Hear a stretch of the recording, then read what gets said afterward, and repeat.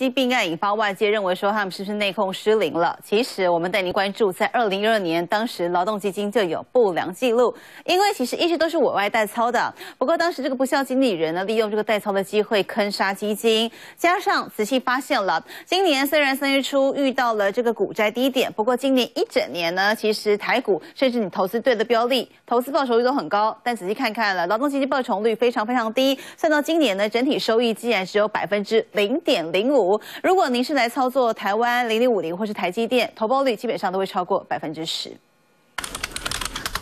进入劳动部网页查查劳动基金绩效，发现截至今年九月底，整体劳动基金收益率只有百分之零点零五。底下的新制劳退基金更惨，几乎每月都是负数。不止劳动部自家员工有不良记录，劳动基金委外代操也状况连连。早在二零一二年就有投信业者五鬼搬运，当年爆发的银证案，不孝经理人利用代操机会坑杀基金。这回内部管控又失灵，让投资达人直言，投报率低到不如自己操作。光是放在银行都赢过这个绩效啦，那更不要提说以现在的状态来说，是一个股市创新高，然后整个全球资产都在膨胀的时代，然后竟然还可以贬值，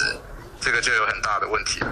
就以投资台湾五十还有台积电来举例，以月薪五万上班族来看，每月提拨百分之六，等于三千元。抓出每月平均收盘价格，分别从今年一月算到九月，台湾五十投报率达到百分之十二点六一，台积电更高，来到百分之二十六点八六。再拿出新制劳退基金绩效比对，一样都是累积到今年九月，投报率却是负的百分之零点三八。当然的，因为九到九月还亏，真的是不得了啊！这个不论不论你怎么丢，你每个月固定丢，你也应该赢过这个数字。虽然劳动基金资产配置有一定比例，只是绩效落后又涉嫌炒股，恐怕已经让民众失去信心。三九九张轩台北报道。